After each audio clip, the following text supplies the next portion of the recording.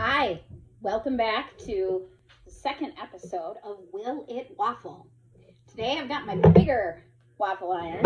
I'm gonna try out, I have some leftover uh, angel hair pasta that needs to get eaten before it goes bad. So we're gonna try waffling angel hair pasta. I think this one's gonna need some cooking spray. So we'll grab that. And while the waffle is, or waffle iron is heating up, just spray in some cooking spray. Which this one is almost out. Good thing we have backup. All right. Waffle isn't quite hot. Gotta wait for this light to go off. So I'm just gonna pause this.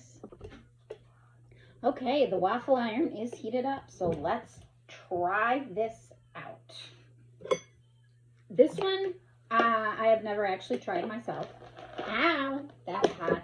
Probably not gonna work. Okay, don't touch the waffle iron. I don't know why it wouldn't work, but Um, we'll see. it's, it's We'll start with that amount.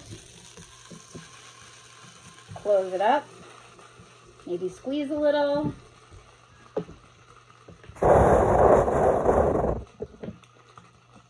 Note in the background we have lovely 1970s uh, light fixtures in our kitchen. They came with the house when we moved in, um, and and they give our house a our kitchen a real nice ambiance that goes great with the overall. Uh, it is a craftsman house um, with gorgeous built-in woodwork and stained glass and all that, and and then and then it has this. So yeah, I need a longer. I don't know who decorated it, but they had very specific tastes.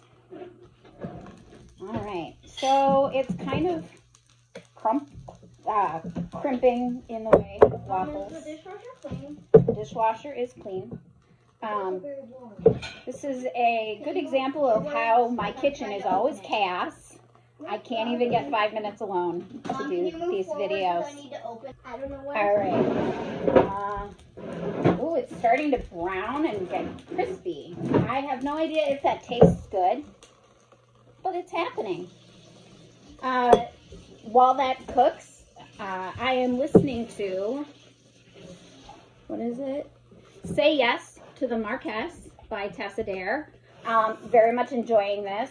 Uh, she is funny and delightful and uh, also very intriguing in ways that I should not talk about in front of my children, but you probably get me.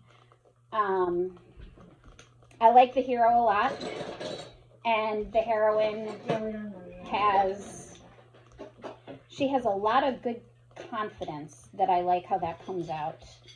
Um, she's got some qualities that could make her insecure, and she doesn't let them. Um, and I, I appreciate that in a heroine. Uh, as someone who deals with uh, insecurity all the time.